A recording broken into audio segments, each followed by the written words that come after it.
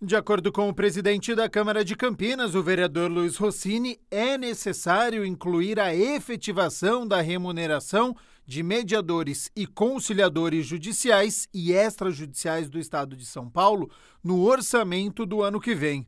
Por isso, a moção de apelo ao governador do estado de São Paulo, ao presidente da Comissão de Finanças, Orçamento e Planejamento e ao presidente da Assembleia Legislativa do estado de São Paulo. A figura dos mediadores e conciliadores prevista em lei, né, e que já tem cerca de 7 mil no estado de São Paulo, tem sido uma ação importante na negociação é, de cobranças judiciais com os credores, com os contribuintes de todo o Estado.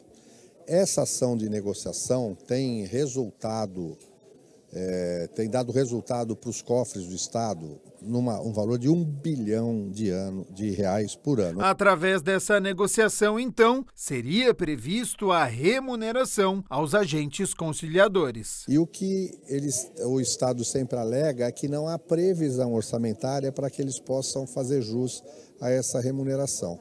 Então, mais uma vez, é, atendendo a alguns conciliadores e negociadores aqui da cidade de Campinas, nós estamos apresentando essa moção pedindo que para o orçamento de 2025 do governo do estado seja previsto uma rubrica da Fazenda Pública destinada à remuneração desses agentes públicos que prestam um serviço importante em defesa do erário do estado de São Paulo.